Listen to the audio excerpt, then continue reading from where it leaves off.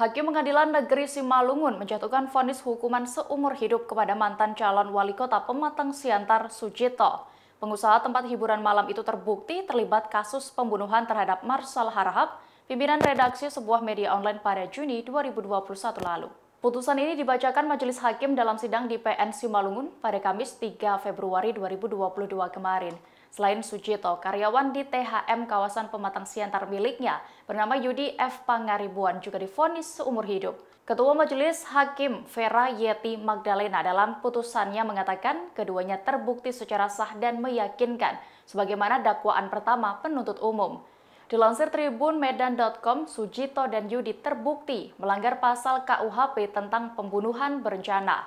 Hal yang memberatkan keduanya yakni dianggap meresahkan masyarakat, menghilangkan nyawa orang lain, dan belum ada perdamaian dengan keluarga korban. Sementara hal yang meringankan, kedua terdakwa menyesali perbuatannya dan berjanji tak mengulanginya. Sebagai informasi, kasus ini bermula saat Sujito geram dengan korban Marsal Harahap yang kerap memberitakan THM miliknya sebagai tempat transaksi narkoba.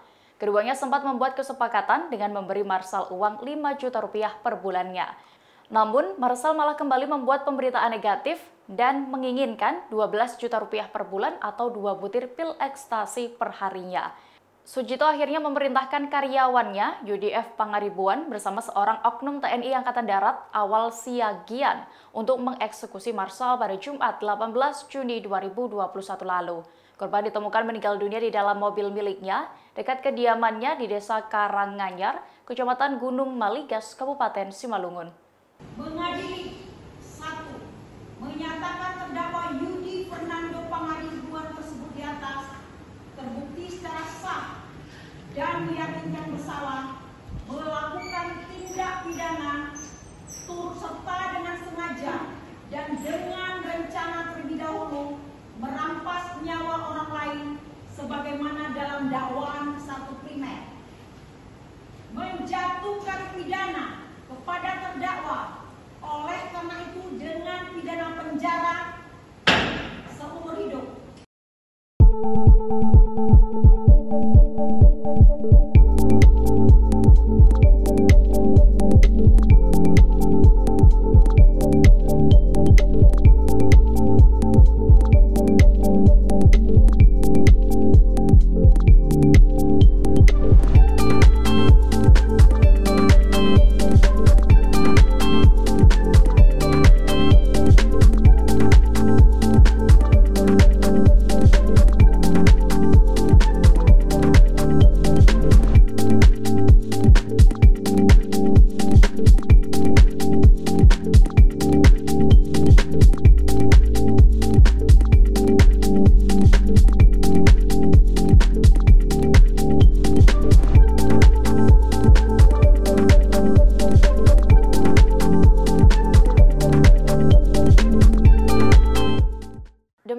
Informasi kali ini, saksikan kabar terbaru lainnya hanya di kanal YouTube Tribun News. Terima kasih sudah nonton.